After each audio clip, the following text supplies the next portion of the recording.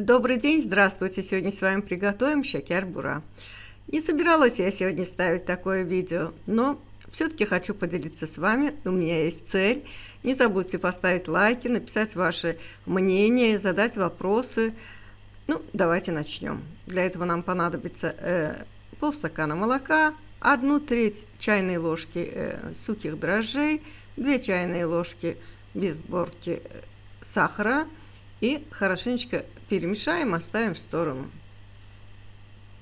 Я буду сегодня готовить, так, добавляю в муку, просеянную муку, ванилин, щепотку соли и все перемешаем. Добавим сюда молоко. Не ждем, пока э, дрожжи разойдутся, там, я не знаю, будут активироваться, просто мы их намочили. Добавляем сюда 4 желтка. Это у меня на 50 штук. Я из него собираюсь сделать шакер-бура. Э, вторая партия тоже будет 50, то есть я приготовлю сегодня 100 штук. И посмотрите, теперь масло, масло добавляем туда, где у нас только мука. Нет там ни сметаны, ни яиц. Хорошенечко перемешиваем все это. Уж после того, как масло полностью перемешали с мукой, добавляем сюда уже э, то, что у нас э, в нашей миске. Там и сметана, там и дрожжи, там и яйца. И вымешиваем тесто. Тесто вымешиваем э, не очень долго, но нам надо добиться того, чтобы не оставалось комков, э, то есть чтобы тесто было и эластичное, и в то же время сильно не развило клейковину. Вот такое тесто у нас получилось. Рукам не пристает, оно плотное. Накроем его э, чем-нибудь и оставим минут на 10-15. Потом будем э, формировать э, шарики. Шарики у нас от 36 до 40 граммов. Это зависит от того, какой толщины вы хотите, чтобы у вас было тесто то есть э, ваша шакер-бура э, имеет больше начинки или больше теста. Это зависит от этого. Теперь каждый, э, я сделала 25 э, комочков и раскатываю каждый. Сейчас я покажу вам, какая толщина. А ди диаметр может быть от 8 до 10 сантиметров. Выбирайте то, что вам нравится. Большие шакербура или маленькие шакербура. Чем меньше диаметр, тем меньше вес. То есть 36 э, 40 это, я сказала, 40 для больших, а 36 для маленьких. Вот такая толщина, видите, здесь где-то 2 миллиметра, скажем так, ну, чуть больше. Теперь я каждый раскатаю и буду складывать на друг друга. Э, Шакер-бура и пахлава, точно так же, как и обычные булочки, имеют свой особый аромат, и он распространяется очень далеко. И раньше всегда делились, когда э, готовили не только шекербра, и даже те обеды, которые сильно пахнут, соседями особенно подносили тем, кто одинок, старый, э, угощали детей, э, тем, у кого нет возможности приготовить то ли материально, то ли физически. Э, Сейчас немножко иное время, когда каждый закрылся у себя в комнате и забыл про соседей. Есть одинокие э, бабушки, у которых нет возможности. Если у вас есть такая возможность, не забывайте их.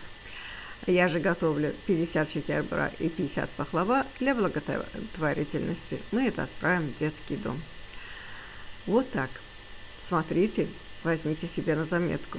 А здесь вот, смотрите, начинка, здесь фундук килограмм э, и 900 грамм сахарного песка, это для начинки. А под видео будет рецепт, а вот это у меня отделено для соседки. Э, то есть не забывайте, чем больше вы отдаете, тем больше вам вернется. И Всевышний всегда видит вашу доброту.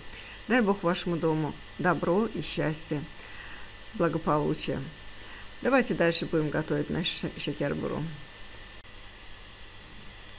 Теперь возьмем тесто, один кружочек, накладываем его между двумя пальцами и возьмем две, а то и три чайные ложки начинки. Это зависит от вас. Чем больше вы наполните, тем пышнее они будут выглядеть и будут вкуснее. Но старайтесь, чтобы начинка не попадала на краюшки, а то заворачивать будет невозможно. Не только трудно, а невозможно. Песок не даст вам той возможности, чтобы вы могли защипнуть тесто. Поэтому пальчиком помогаем и защипываем. Сильно-сильно.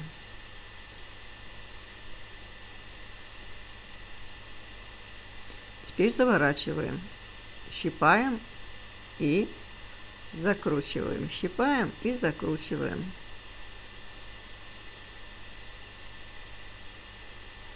К концу этой процедуры у меня не осталось сил.